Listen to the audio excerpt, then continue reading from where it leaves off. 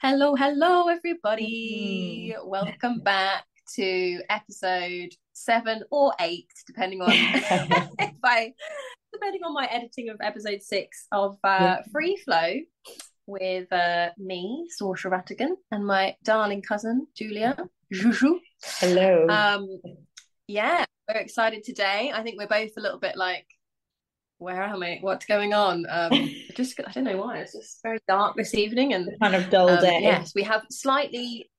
Yeah, it's been a bit of a dull day on this side, to be honest. Um, I think the voice recording for this will be fine. If you're watching it on YouTube, we don't. I mean, to be honest, both of us don't have the best of internet, so um, it might yes. kind of you know pause a bit, but we'll just keep rolling, Julia. It's fine. it's all good. as um, long as we can. Yeah. So today we're um today we're gonna dive into um what uh, Red School have kind of coined um, the I think they call it the three menstrual maps um, or possibly okay. the three inner maps. Um, but we're going to do a little a kind of a little exploration of them um, and maybe before we do so I'm trying to remember what cycle day I'm on today, Julia.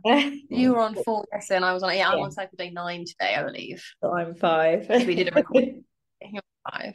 How are you feeling today? Yeah, okay. Yeah, I'm all right. I'm oh. sort of heading into spring, so mm-hmm. maybe spring tomorrow. I don't know. Who knows? Yeah. Do you feel like having had a chat on our last? So we, for for those that uh, those people listening to this recording, we actually recorded um, the crossover days recording yesterday. Um, yeah and I'm intrigued. Do you feel like you're in a crossover day today? Uh, I feel maybe a little bit at the start of the day, but I feel much more settled now.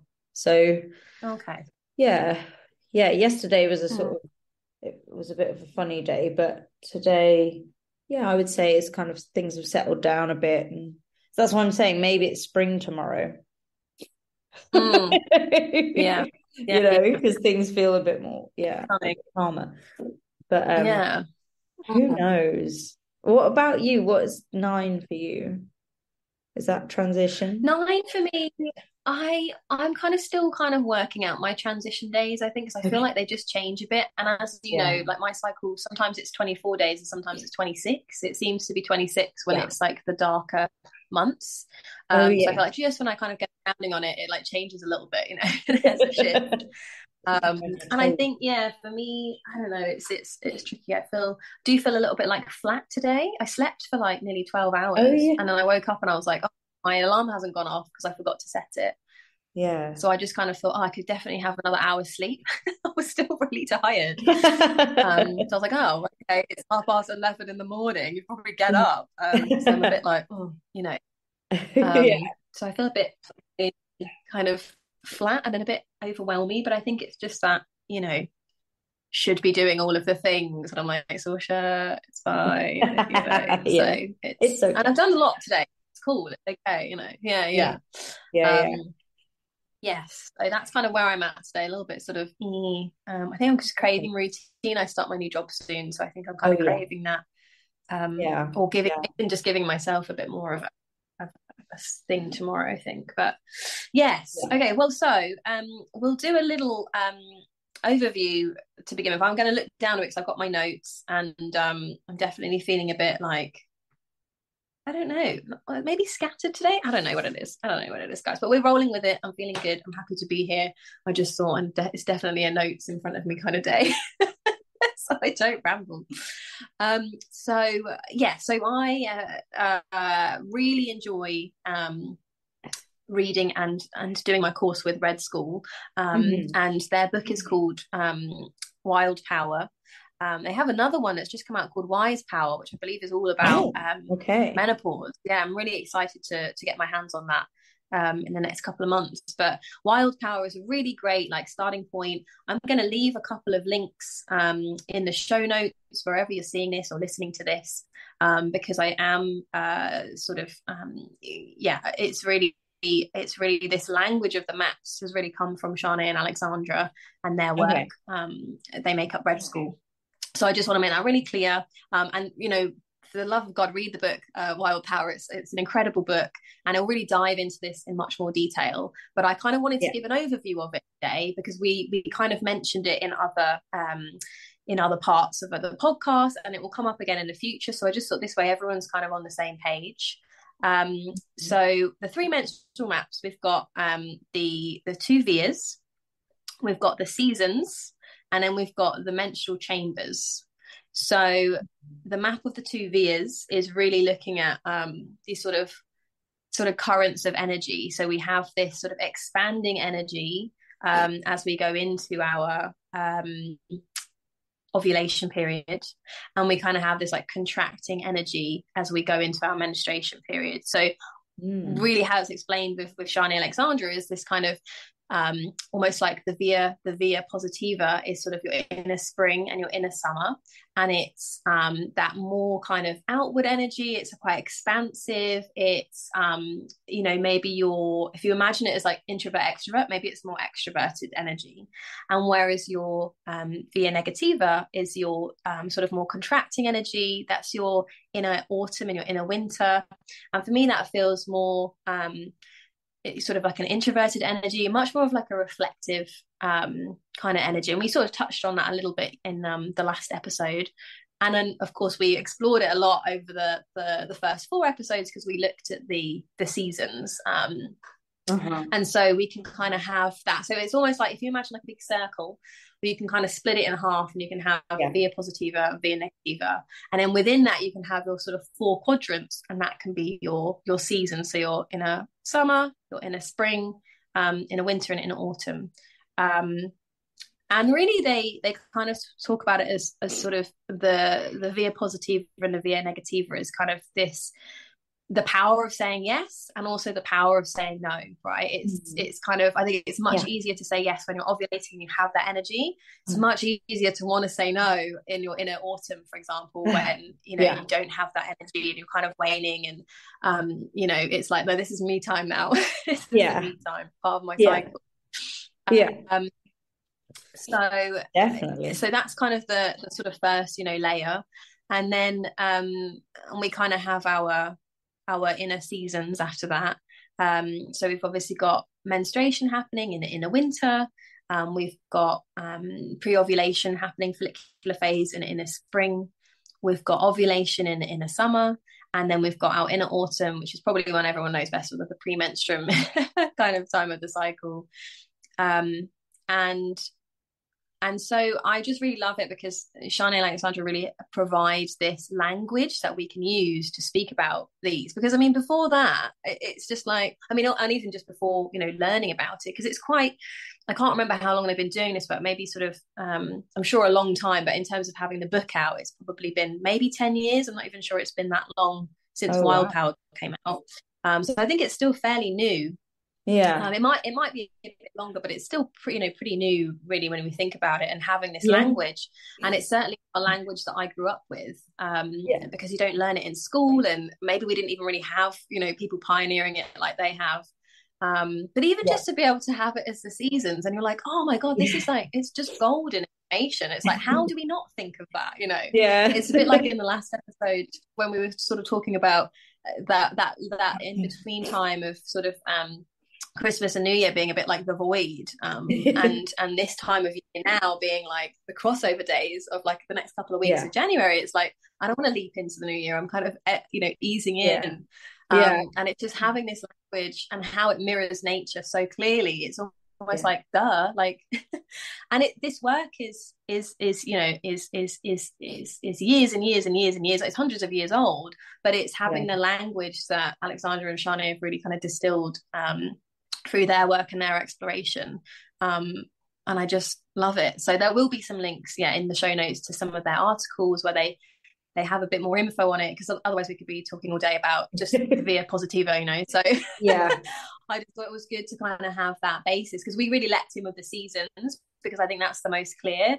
And I also think that you know, is via positiva and via negativa, but being in the via negativa isn't a negative thing. It's just sort of the, yeah. the, the, name of it, but it's sort of the positive yeah. and the negative. You kind of need to have both, right? So in order to sort of thrive and to have that balance. Yeah. Um, uh-huh. and so we obviously we won't dive into the the seasons because we've you know we've got a lovely um, episode on each season already, and I'm sure there'll be more to come because there's always there's just so much more information that's always coming through and experience, and I just find time. it so fascinating yeah.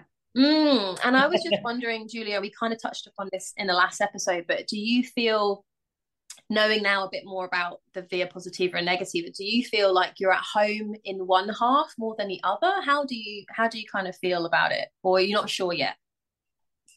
Uh yeah, I'm not sure because I think mm. before knowing the information, if you'd asked me, I would have said, well, obviously summer obviously that's the best mm. season. But actually, sometimes it's not because you're so wired, basically. You're so like, you know, yeah. life is happening. I can create life. Mm-hmm. Ah. Like, you know, it, there's so much going on. It can be quite overwhelming. And you just, you can't just sit in one place. Like, you want to be up and out and doing mm. If you're not, it's frustrating. And then the autumn is the opposite. Like if you're up and out and doing loads of stuff, you're like, oh my gosh, I'm so tired. Why? And then you realize why. mm, yes, yes. Why. why did I do this to myself? Yeah. why did I plan all this stuff in my autumn? Um so I actually kind of I am leaning more towards the negativa side at the moment mm. because I think you said yesterday it's like a permission slip to to mm. and or say no yeah just sit down or just rest or just be on your own and be happy with that and not um i actually yes. i notice more in my autumn i don't check my phone like if my phone has a load of messages i'm like oh my gosh it's too much whereas in my summer i'm like mm. i have no messages what's what's happening with my life i need things to happen mm. you know so it's almost more frantic yes. and that's equally exhausting but in a different way. And it's but i kind mm. of like the um yeah that sort of permission to slow down and rest and um the i i do i do care less about what people think of me in my autumn which is really nice. Really refreshing yeah. It's very, very um, refreshing. Um, it's very freeing liberating yeah.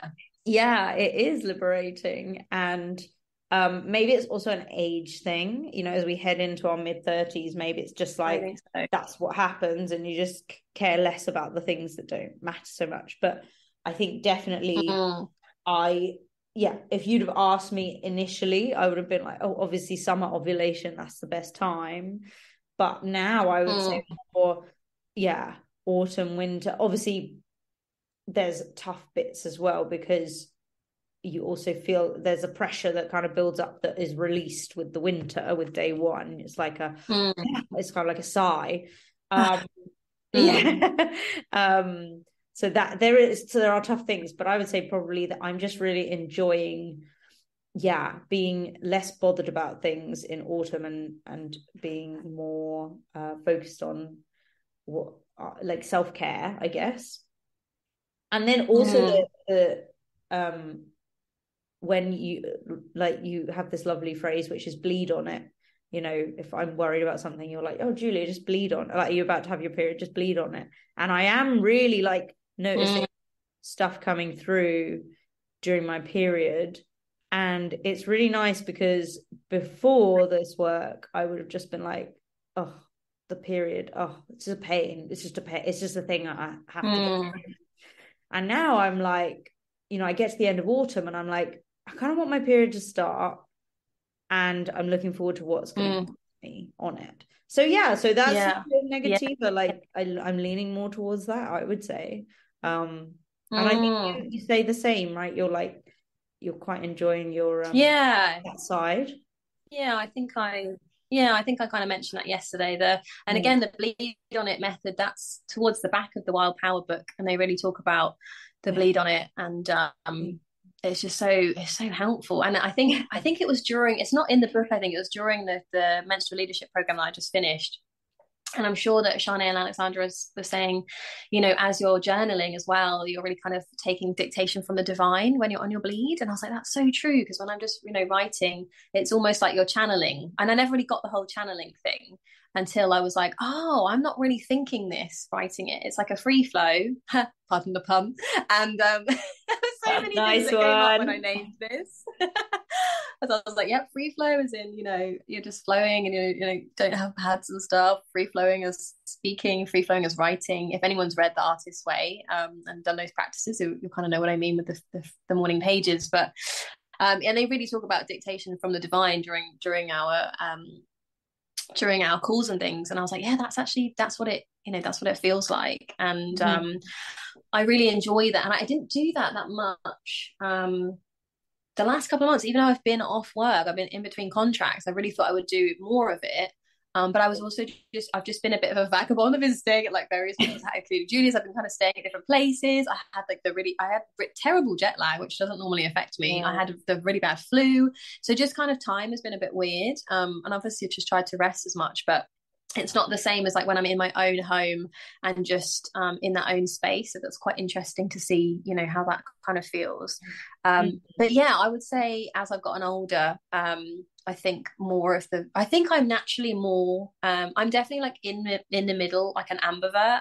I think po- probably more introverted by nature, but actually have learned over the years to, how to be extrovert, both yeah. in terms of like ADHD masking and masking those mm-hmm. things, and you know understanding like what's ex- uh, what's uh, accepted uh, uh, expected of me um, in you know uh, uh, jobs and things like so it's it's interesting i'm not you know i was very very quiet when i was younger and i really just wanted to read everything and um but i also loved performing and it was very like i, I used to get terrible stage fright you know because it's such yeah. a I just love doing it, but it's like I'm also being a character, not being me. So, yeah.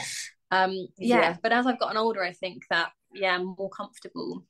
And you know, we spoke about this, I think, on the last episode. I'm sure in the in the um in a summer one as well. I feel like uh, yeah, having that energy that you were talking about is also that it feels very scatty um, with the ADHD. I, would love to like hear a bit more from people who also have ADHD um, to maybe I don't know, email me, uh, you know, comment on some of these things that you're seeing. I'd love to know other people's experiences of it because I haven't really um, got to talk to many people really with ADHD about ovulation.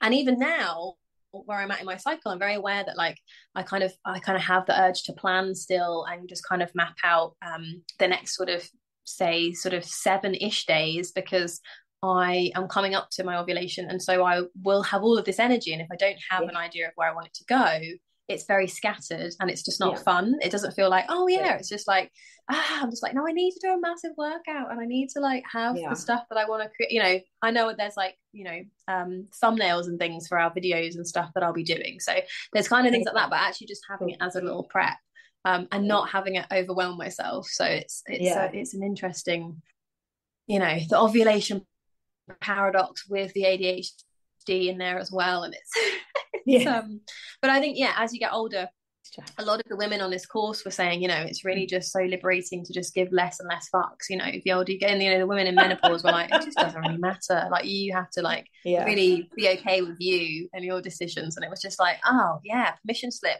And it's so much easier from someone older that's gone through it for them to say, yeah, yeah just permission slip, just like give less of a shit, you know. And um, yeah, yeah. So um, we won't go into the five chambers of menstruation, but I will just briefly touch on it. Um, so. I don't know what the they are. Five chambers of menstruation. Uh, yeah, yeah, we haven't really spoken about this very much, yeah. and I always forget the order of them all. Um, so it's definitely something I thought, oh, I'll look into a bit more. We did a, a module on it with the with the Red School practice, um, and I thought, God, I must revisit it because it was, you know, uh, an earlier earlier on. Mm. I think, and it was really incredible.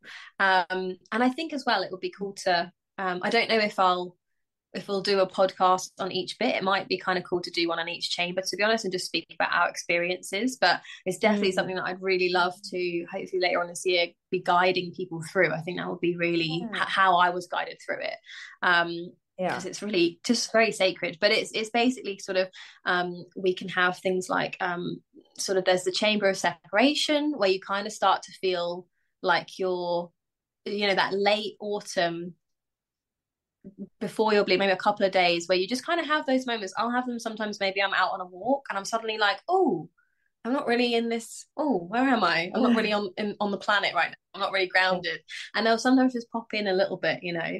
And we have things like the the void, which is kind of this. The, the it's just this kind of yeah, this almost like this sort of limbo land.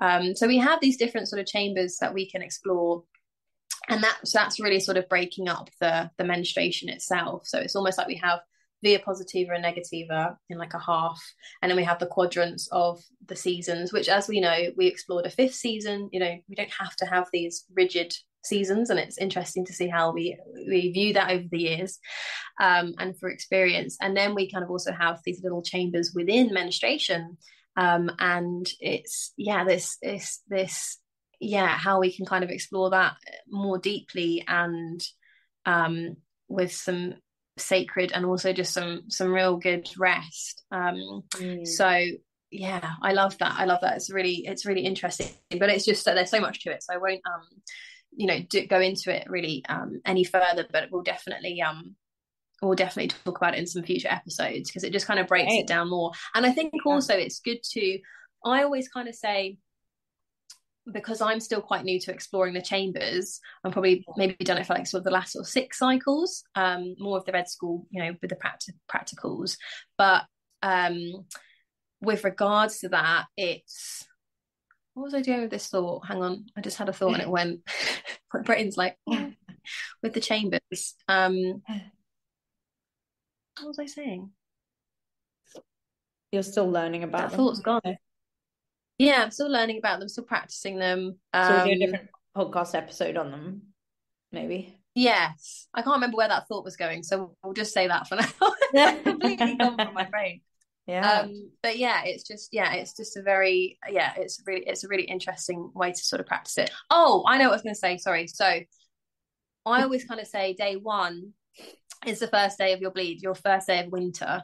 But um, you could say that on say like a classic 28 day cycle we could say inner winter's sort of day 27 to day 5 because of oh. when we when we look into the chambers because of that oh. separation that kind of happens very late autumn um, yeah. early winter you might kind of feel that a bit like i i will still be bleeding and maybe on like day three i can kind of it's almost like the estrogens kind of come back and I'm technically I'm still bleeding. I'm sort of in my in a winter, but I also feel like, oh, maybe I'm kind of in my spring.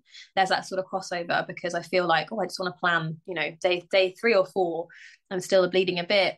Um, but I'll have that, you know, so it's almost like a crossover. So it's a little bit like that. So if you feel like you're in your mm. winter before your bleed, that is probably why maybe you're quite connected to your chambers.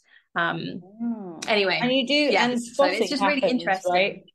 So um yes yeah. maybe maybe some people feel like when they start spotting okay i'm in winter now even though that's not your yes, yeah but... yeah. It might depend where you are. Yeah, yeah, yeah. exactly. So i go with ease and especially with when you're news tracking i tend to go day one is the first kind of full flow um, yeah, of the cycle. But that is still day one. But you could still be in your winter. You could still feel that a couple of days before. But that's so yeah. your your first day of your full bleed is still your day one. But you might feel yeah. wintry, you know, a couple of days before. So also, we'll explore that more. I think it'll be clearer with the menstruation chambers. Yeah. Mm. And also, I remember one time I started my period and it was like 11:30 at night or something. And I said, I don't know which day is day one. And you were like, well, I would count tomorrow as day because it's nearly tomorrow. But you know, it's there's yeah. I yeah. guess my point is it's blur. It's not there's no rigid lines in nature, right? Things are blurred. So no, no. so for some yes. people, you know, so you're allowed to like, well, this is day one. Yeah. Yeah, and also as you kind of explore it further, then you'll kind of know, you know, you'll kind of get a feeling for whilst whilst again we don't presume that every single cycle is the same, I might say, oh, I love, you know, I love my day two when I don't have to work, as you know, because it's my most sort of dreamy. I'm really dreamy. Um, sometimes yeah. it seeps a bit into day three, but it's definitely like, oh, I'm like really relaxed. I'm very like just taking that dictation from the divine. It's very easy to yeah. rest. And I get these lovely yeah. oxytocin you know ripples where I'm like, oh, I just love me, and it's really, really, it's really lovely, and you know, I'm at home there. It's really nice. It's a good like yeah. self love replenisher without having to really do anything. Yeah. While the doing yeah. is in the not doing, which, as we know, is actually quite challenging. Yeah. Um, yeah. So I like that. The doing is within the not doing. I'll have to remember that. Um, let me a catchphrase. Um, yeah. So yeah, so it's um yes, but yeah, like you say, there's no you know there's no hard and fast rules. I mean, the big the big red rule that that Sjanie and Alexandra have is you know this may resonate, it may not at all. It might at a different time in your life cycle, you know. So it's really just um feeling what resonates and and and being you know charting your cycle yeah um yeah yeah so yeah and then there's a few other bits within that then so um just to kind of go into and this is i'm just reading it from my notes because this is really from the site and um, of Red School. And I'll just read a couple of points, but they kind of give these sacred tasks. If you read the book, Wild Parasites in there, but it's they kind of give these lovely sacred tasks, which is really nice for you to focus on in the okay. you know in the seasons. So with the Via Positiva, they kind of speak about cultivating your inner champion, and that's um, a phrase Kirsty Morris, which is one of their apprentices, came up with. Um, your inner champion and we can kind of have that as the opposition to our inner critic which i think we kind of mm. a bit more familiar with again yeah. julia you know the inner champion and the inner critic they deserve a whole you know podcast of of their own and i'm so excited to delve in because i yeah i love working with the inner critic now because she whipped my ass for like you know many years especially with the pmdd um, but she can really run rampant throughout the whole cycle. She's very kind of there in, in autumn. But if you're struggling yeah. with the inner critic, might look like uh, um, imposter syndrome, Mm. especially when you start if you start your own business it really comes through then that's when it really started to hit me and i was like oh my god um yeah. and so the inner yeah. champion is work that we can do to champion ourselves which is you know really challenging um, yeah. or can be and um, it's kind of the opposition of it and it's kind of like you know if the inner critic's going to be running rampant you do need to have something else that says no like you belong in this part of the cycle because you help me in this way here if you just run around all throughout the cycle you know if you're if you think of it you're trying to have a rest you know and maybe you have yeah. kids and you'll be like oh i managed to get them off to grandma's for the afternoon and i've got you know a bubble bath waiting and i can just have a rest and it's day two and i just need to restore and the inner critics you know with you in the bath going shouldn't you be doing the laundry? Yeah. Why the fuck are you having a rest? You know, all this stuff, you know. Yeah. So it's really important to have that. And Kirsty yeah. Morris, uh, yeah, came up with the inner champion. So, um, and there's so many different ways we we can explore that. Um, uh, yeah, I won't go into it now because I'll go off on another tangent. But there's someone else in my brain, and I'll I'll I'll, I'll think her. I'll yeah, yeah, for that for that episode. Yeah. Um, Great and then yeah so the via negativa is kind of developing your relationship with with your inner critic and why it's important to do that um, and also yeah. kind of you may not befriend her but you may I called it sauntering with my inner critic when we were doing the uh, when we were doing red school, and I was kind of saying I'm learning to like saunter with it and just yeah. you know um, learn from it and be respectable to it because it's it's trying to show me something. And the thing is, it will get louder and louder if you're not doing something. It's really that guidance of like you know, now I'm doing this work, my mm. inner critic is way kinder. Uh, and when I wasn't doing this, when I wasn't yeah. doing, even though I was like, I want to do a podcast, I want to speak about more, I want to just, I just want to talk about periods and cycles with people, you know, and I wasn't doing it. It was really, really, really rampant, like all of the time. Yeah. Um, yeah. so it's just so interesting to me. And then, and then they kind of give you other, you know, other little things. Again, I think they're they're covered in the book, but inner winter is kind of surrendering yourself in a spring is cherishing yourself, which I love. Um, oh. Um, in autumn is uh, in a summer, sorry, is celebrating yourself, and in autumn is um, holding yourself. Um, or more precisely, hold the tension of the complexity of who you are. That's from um, I'll cite it, but I love that. And we talked about holding the tension, and yeah. again, I kind of, you know, when I was, um, I think when I was visiting you, I was like, we can hold the tension everywhere in all areas of our life, and I was, you know, getting all these ideas, and yeah, it's just, it's just fascinating to me. Um, yeah. How long have we got, Julie? Because my alarm's just gone off. Uh, six minutes. So maybe oh, wrap oh. up time. We'll do a little, yeah, we'll do a little wrap up. Um, yeah. so I think that, yeah, um, you know, we have, so we have the inner critic in a set kind of second half of our cycle. Um, and it can be quite tricky to you know to learn to sort of you know have have them as our friend you know have our inner critic as our friend but it really also helps us to to to say no and to be okay with saying no which yeah. is what we need from that part of from the via negativa part of our cycle and mm. then the inner champion you know that's kind of our ally especially in the via positiva um and yeah. it's you know it's it's kind of that yeah the, the, the agency you know the power of saying yes in your cycle and supporting yourself and being your own you know your own best you know kind of champion with that work and you know when we just have one without the other you know it, it's just all hell breaks loose i think. So we need to have both. A bit like you know kind of the, the poles of menstruation and ovulation. We we kind of yeah. do need to have both of them.